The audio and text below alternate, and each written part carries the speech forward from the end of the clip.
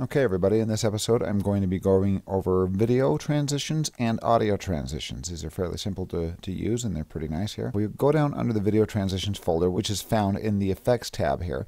We arrow down. You can look through and you'll find several different video transitions here. The basic ones I'm going to be covering here, you can, you can experiment with some of these, but I'm going to go with uh, the dissolves here because this is the most common. The dissolve is basically either a fade in or fade out. It, it will work as as a fade in or fade out, or it will also work as um, a dissolve between two clips, where it fades from one clip to the next, called a cross dissolve. One thing I want you to notice is uh, down here you will see under cross dissolve kind of this little highlight around cross dissolve that aren't on any of the other clips right there. That is what is called your default video transition. It's just one. You have one default video transition. You can change those by right clicking and saying set as default transition. The cross dissolve is the most common. Notice that has changed now.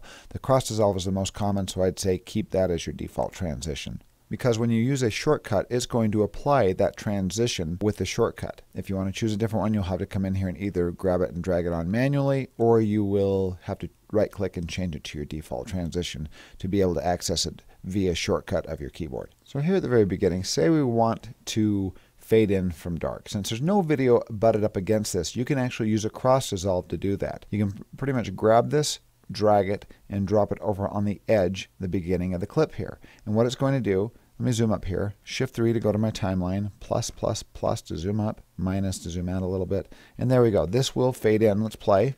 And notice of the clip fades in from black. What it will do is it will start at, at nothing here. Since there's no clip before it's going to start at nothing. It's fading in from nothing to the video clip here. And that's basically the way it goes. If you want to grab this and drag it out, that will lengthen the default transitions for a cross dissolve is usually one second. If you want to change that, you'll simply go out and grab the edge and you can grab this and drag it out and let go. Let's, in fact, let's take a look and see what the default transition is. I'm going to delete that, drag and drop on the default there select this and you'll go up and see. Actually it's one second six frames. It must be 30 it must be 30 frames. Since this is 24 frames per second. It, it's got one one second six frames there basically. So it's 30 frames set for 30 frames per second.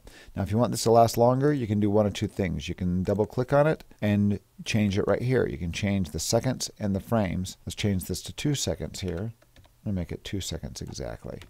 Two seconds zero frames. Hit ok and it expands it out you wanted to make it less, just same thing, double click, and we're going to change this to, let's say, a 15 frame dissolve, about half a second, and notice it changed it. So there now it fades in at half a second. If you want it to last longer, here's a nice little shortcut. You can just move down with your mouse, grab this thing, and drag it out. And it will show the new duration down there. It says 3 seconds and 15 frames. And now we have a nice long fade in. If you want it to transition between two clips here, let's move between these two clips here. And we're going to have it transition, do a dissolve from this clip to the next. What you can do is you can just simply grab your cross dissolve, drag it, drop it between the edits here like that. One thing that you got to make sure of though is this will only let you do a cross dissolve as long as the excess trimmed clip is. For, so this clip over here, if uh, you have a pre-roll of like 10 more seconds on this and then it ends, you will only be able to pull this back 10 seconds. If you have clips that are very short and you put these cross dissolves on, it has to have excess footage on both ends of the clip in either to be able to do a dissolve from one clip to the next. It needs pre-roll of this clip here as long as the cross dissolve is uh, extending over into this clip. And vice versa here it will need at least this much excess footage which is probably that's about a half a second's worth of footage to do that cross dissolve. If you don't have extra footage before the cuts then you will not be able to add a cross dissolve to it. This has excess footage on both sides and there you go. And the same goes for audio. But now you can extend this cross dissolve. Let's take a look at it. And then it does this nice it's gradual only my imagination there's nothing to worry about. And you have that nice gradual dissolve from one thing to the next. I'm going to get rid of, I've got a reverb on there from the last tutorial. So let's play through it's that. only my imagination. There's nothing to worry about. Nice cross So you don't want. So and then you can shorten it the same way. You can actually change when it starts happening just by sliding it back and forth as well. So now it will start the cross dissolve here and we'll be finished by here, or it will start it here and be finished by here. So wherever you want to put that. Now I'm going to tell you, experiment with other of these video transitions. Go through and look at, they've got some wipes and they got some kind of cheesy things as well. They got like a band wipe here. Let's drop that on there and see what it does. There's nothing to worry. Very cheesy. So they got some other things. They got kind of the typical Star Wars wipe where it just does a simple wipe here. If you just go down and grab wipe.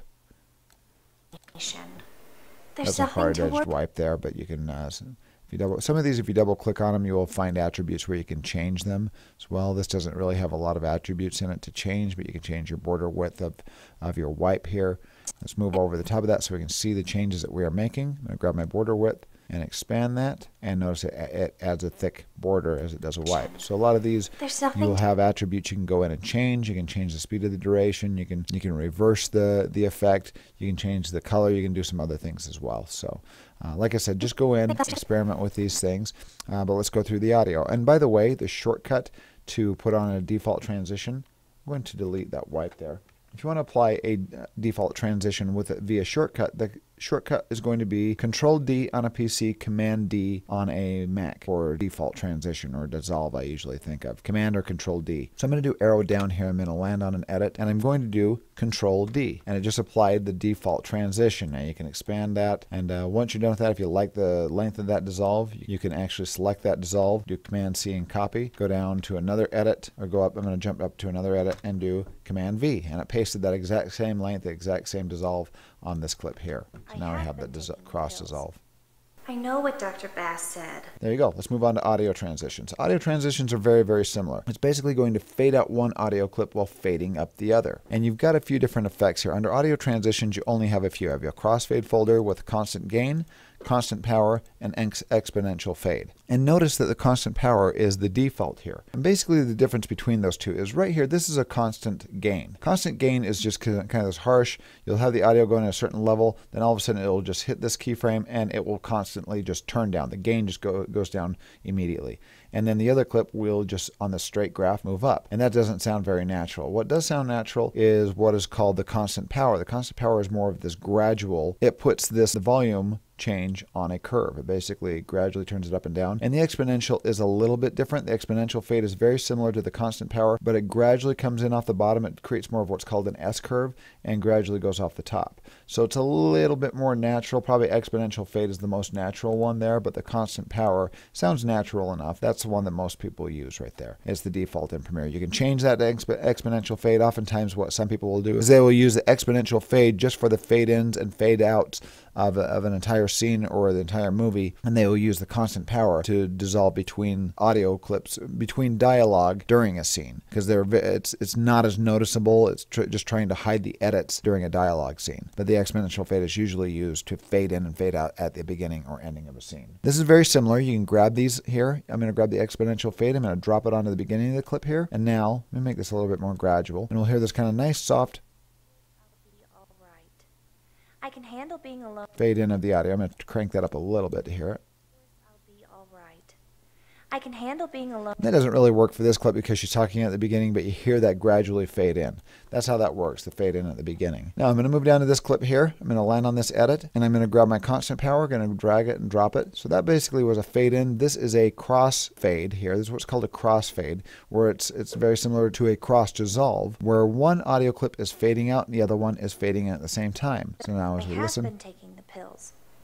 I know what Dr. Bass said. and it's kind of this gradual fade in, fade out, so you don't don't hear that cut between the scene. It's kind of nice to add add that sometimes between bits of dialogue, uh, but sometimes you'll hear little pieces of audio bleeding in from other parts, and you might need to shorten this or expand it. The shortcut for that is very similar to the adding the cross dissolve. The added crossfade is Control, but then you hold Shift instead of just Control D. You're doing Control Shift D, or on a Mac, Command Shift D. We'll add that dissolve on the edit where your playhead has landed. Go to the beginning of the timeline, hit arrow up to go to the beginning there, and I'm going to do Control Shift D. Notice it adds a constant power fade in at the very beginning as well. So now this Of course I'll be all gradually fades in. Let's turn this all the way across. Let's expand that there. Course I'll be all right. I can handle being alone for one night. and you hear the audio gradually turning up from the beginning. This doesn't really work since it's a voiceover right here, but if you hear some uh, outside noise, crickets chirping, or nighttime sounds, a fade in with the cross dissolve oftentimes works quite well. And this works very similar with a copy and paste. You can copy a certain length. You can select a, an audio transition, Control C or Command C, land on another edit, Command V or Control V, and paste it onto another edit. And this is very similar. You can double click on it and it'll bring up the transition duration. You can change that. You can also select it, go up to the controls panel and manipulate the effect up here as well. Slide it around, change the duration of it as well. So if you have any questions, please post them. And if you have any comments, please post those as well. And that's basically video transitions and audio transitions.